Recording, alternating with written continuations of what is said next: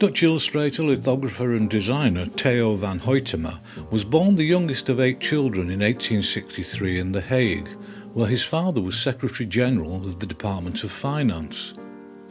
Both of his parents died in 1870s, so he moved with his siblings to a village in Voorschoten. He initially worked in the offices of a financial business, but it didn't suit him at all, and he resolved to try to make a living as an artist. He'd drawn enthusiastically in childhood and been tutored to an extent by an older sister, and now he enrolled for more formal training in the Dutch Royal Academy of Art. Even at this stage, it was the subject of wildlife which most engaged him, and he spent much of his time drawing the animal exhibits at the National Museum of Natural History in Leiden.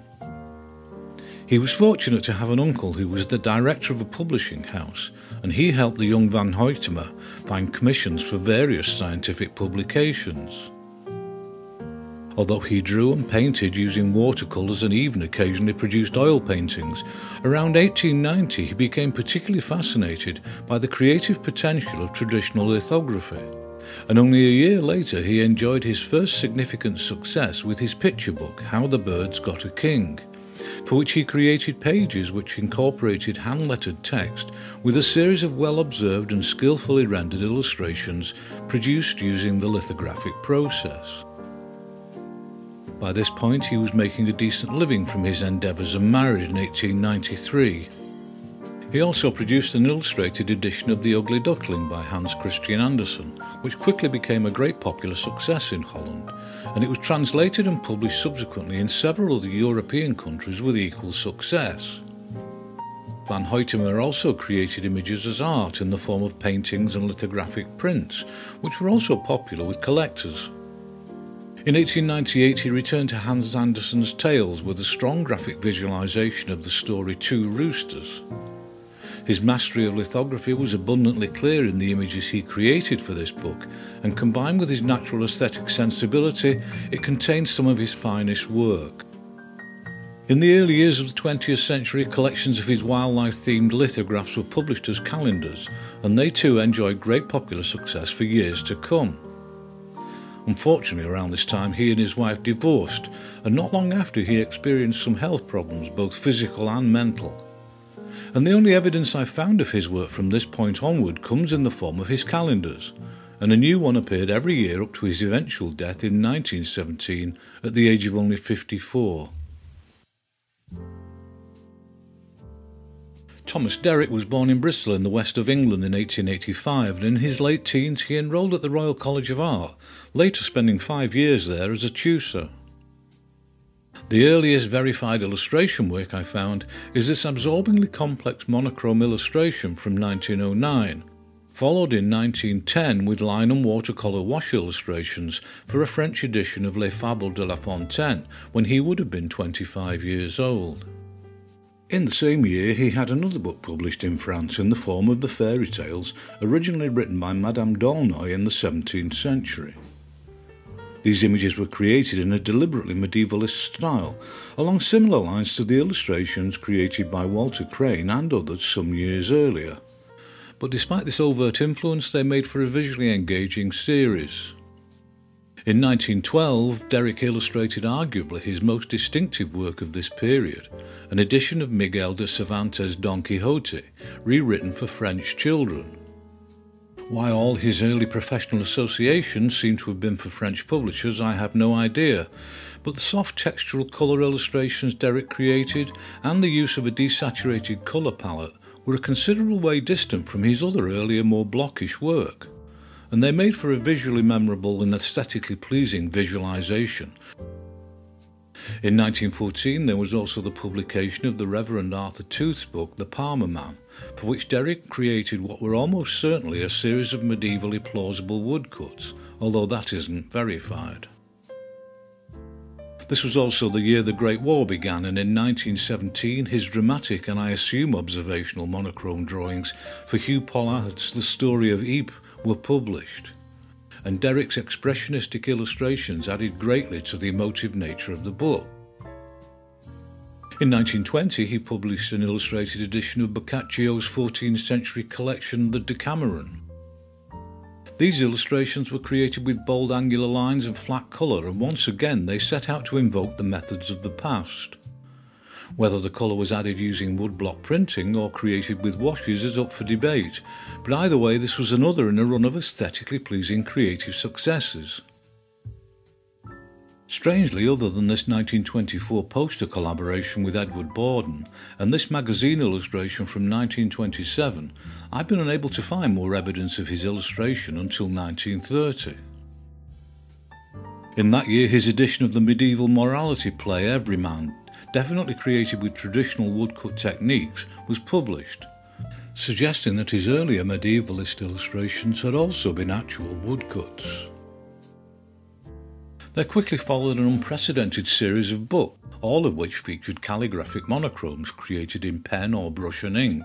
In 1931 alone, the fairly serious minded The Prodigal Son and Other Parables was followed by humorous monochromes for the book Cautionary Catches, written by Cyril Alington. And in the same year, Richard Dark's book Shakespeare and All That Crush was also published, and in the following year, another titled The Hilarious Universe. Derrick's own book, The Muses, was published in 1933. This contained a series of elegant line illustrations which comedically illustrated the supposed attributes of these mythological females in relation to contemporary males and social interaction. Why it had taken so long for Derrick's obvious talent for humour to emerge, I have no idea. But around this time, he also featured intermittently in the pages of the humour magazine Punch. In later life, it seems Thomas Derrick left commercial illustration behind and increasingly concentrated on creating designs for stained glass windows. And he died in 1954 at the age of 69. American artist and illustrator Mahlon Blaine was born in 1894 in Albany, Oregon, and by the time he was 15 he was living with his mother and stepfather in the town of Dilley, some 70 miles away. Much of his biography is very much up for debate. He's known to have told lies about his origins and life, and verifiable records are far from abundant. At some stage of his youth he lost an eye in an accident, but Blaine later claimed to have fought in World War I, even though his monocular status would have exempted him. The earliest evidence of his work was the supposedly historical but almost certainly perverse book published in Paris in 1923. But his career appears to have really begun in earnest in 1926 with an edition of the book Limehouse Nights by Thomas Burke, featuring a series of pen and ink monochromes with a solid yellow added at printing.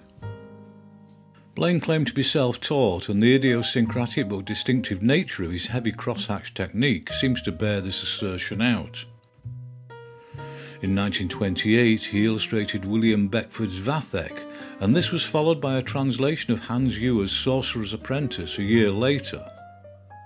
And in 1929 he created a rare colour illustration for the wraparound cover of John Steinbeck's novel Cup of Gold.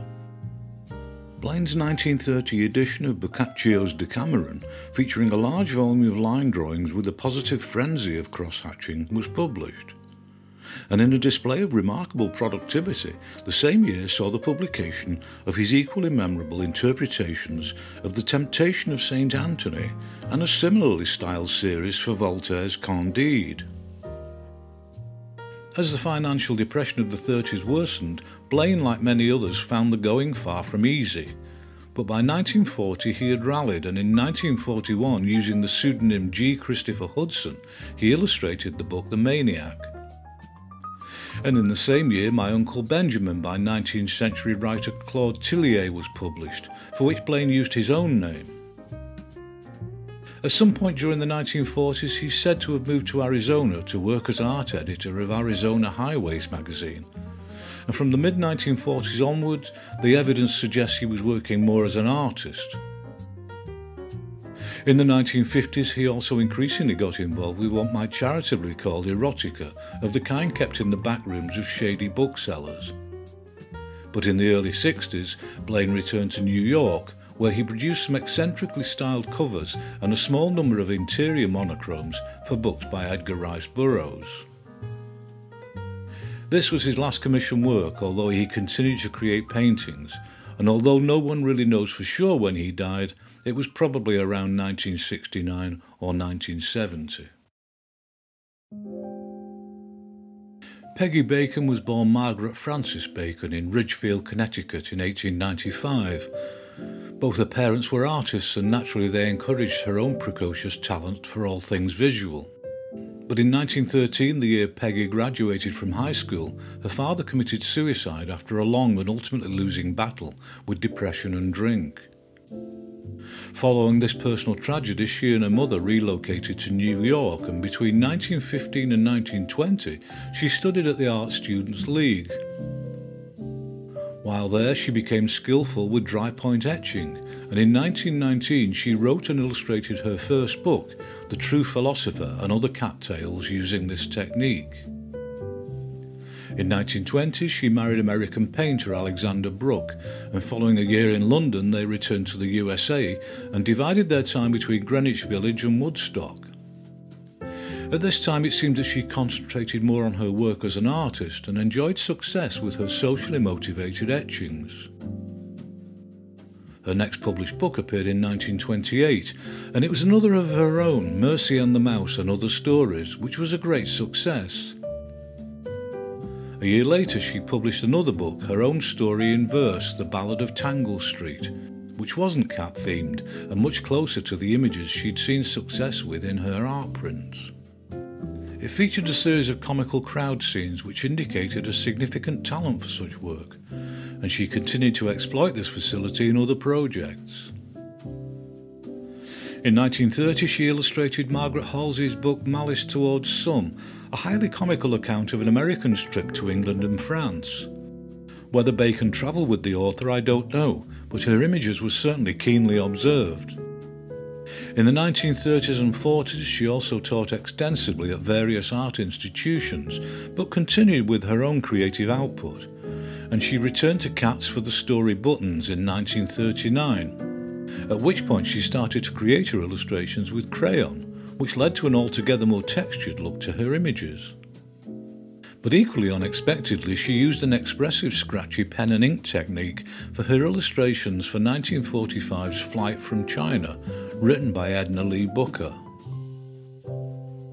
In 1952, she illustrated The Leftover Elf by Elizabeth Stoltz, for which she returned to the use of crayon, following which she seems to have been concentrating more on her career as an artist until a decade later when she illustrated Faith McNulty's Holy Cat. She then remained fairly prolific with several more books during the 1960s, including Rama the Gypsy Cat, written by Betsy Byars, and in 1968 she published another of her own, The Magic Touch, which was surprisingly devoid of cats. This may well have been her last published book, and sadly, in the early 1970s, her eyesight began to fail, and inevitably she was forced to retire from both art and illustration. And Peggy Bacon died in 1987 at the age of 91.